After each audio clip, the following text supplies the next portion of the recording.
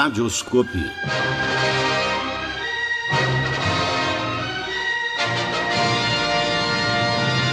O velho rádio paranaense em revista.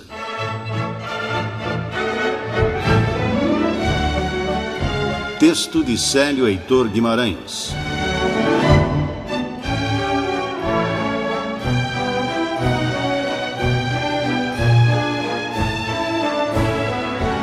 É possível que nem os mais antigos radialistas paranaenses ainda vivos lembrem dela. Mas ela existiu e foi a primeira publicação dedicada ao rádio e aos radialistas do Paraná. Se o Brasil tinha a popularíssima Revista do Rádio, Curitiba e o Paraná tiveram Radioscope, revista mensal ilustrada no final da década de 50. O diretor responsável era Júlio de Oliveira Lara, Paulo Aguiar, diretor secretário, Rogério Pereira de Camargo, o diretor-gerente, e Calil Simão, o diretor social. Gente ligada à veterana PRB2, Rádio Clube Paranaense. O quadro de redatores era imenso. Léo Paz, Osíris Melo, Solim Motten, Talma de Oliveira, Juan Carlos Estela, Madame Odete, Nidoval Reis, Eli Murilo Cláudio, Lara Filho, Dr. Sá, Júlio Gimber, Boris Muzialowski, Thaís, Calil Simão, R. Pereira, Madame Celeste, Rogério Camargo, Vander Machado, Alceu Honório, Lucinda, Dr. Cássio Lopes, Zoraia, B. Cardoso, Esmeralda Raposo, Tavares de Oliveira, Santos Lourenço, Atuíde, Lutero da Silva, Sérgio Rainal, João Pedro Arruda Neto e professora Maria José Godoy.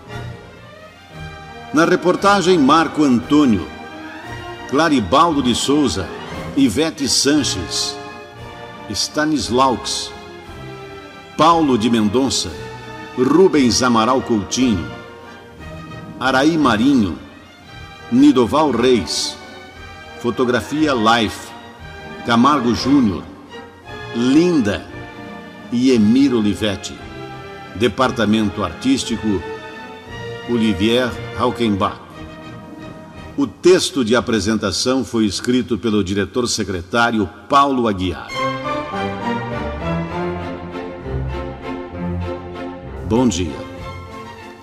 Foi essa, distinto leitor, embora modesta aparentemente, mas que tem em essência o riso do alvorecer de uma nova aurora, a expressão que julgamos conveniente para entrarmos em contato com você, uma vez que manuseia o primeiro exemplar de Radioscopie.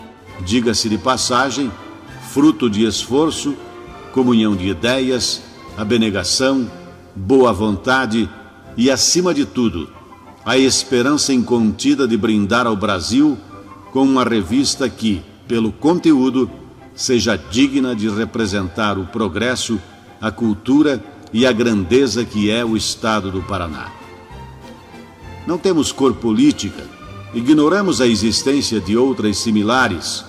Nossa ideia não é outra senão a não ser de proporcionar-lhe instantes de lazer, informá-lo a respeito do rádio, não só local, porém brasileiro, e tudo aquilo que é à primeira vista nos deu a impressão de constituir-se útil para que lancemos mão de um sistema que o entrosamento psicológico com a sociedade, tendo mesmo conseguido representantes em mais de duas dezenas de países diferentes, como atesta um noticiário de caráter geral que ocupa a página lateral a esta, além da cobertura fotográfica, que é uma das nossas estampas sobre o rádio argentino, o qual, para números posteriores, será tratado como realmente merece. Tudo isso sem levarmos em consideração as notícias sobre os rádios paulista, carioca, mineiro e etc. que, embora modesta e incipiente, não obstante são em primeira mão, gozando doravante daquela expansibilidade que é o apanágio em se tratando de assuntos de vultuosa importância, como o que se nos permitem. Na capa da edição, foto da radioatriz Márcia Regina, em pose para Life, especial para a revista. Na contracapa, a dupla gaúcha Oswaldinho e Vieirinha, contratada na época da Rádio Tingui para o programa Galpão de Violeiros. Logo em seguida, a dupla se desfaria com o falecimento de seus integrantes em um lamentável acidente de moto no cruzamento das ruas 15 de novembro e Tibagi, em Curitiba. Infelizmente, a Radioscope ficou só no número 1, datado de abril de 1958.